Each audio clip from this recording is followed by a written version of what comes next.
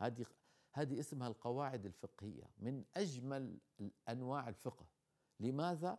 لأن القاعدة يندرج تحتها مئات المسائل مئات المسائل وهي قاعدة واحدة أه؟ الضرورة تبيح المحظورات أمر محظور شرعا لكن في ضرورة جاز يعني مثلا بيذكروا من جملة الأمثلة اللي بيذكروها لو إنسان في إناء فيه خمر الخمر يحرم شربه طيب.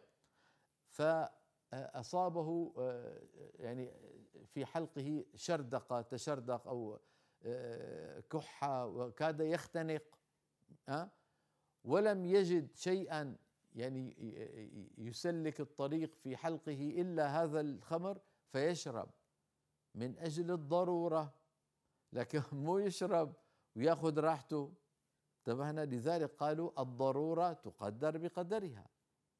الضرورة. إذا جاز له شرب هذا المسكر من أجل من أجل إزالة ضرر أكبر. لأنه إذا في حلقه شيء ممكن يختنق ويموت.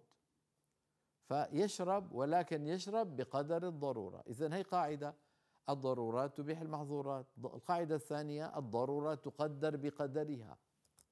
تقدر بقدرها. وكثير إذا ضاق الأمر اتسع من القواعد الفقهية. جميلة جدا لا يزال الضرر بأكبر منه. هذه قاعدة فقهية إذا في أمر فيه ضرر على الإنسان وحتى أزيل هذا الضرر بدي أرتكب ضرر أكبر. لا يرضى الإنسان بالضرر الأصغر. لا يزال الضرر بأكبر منه.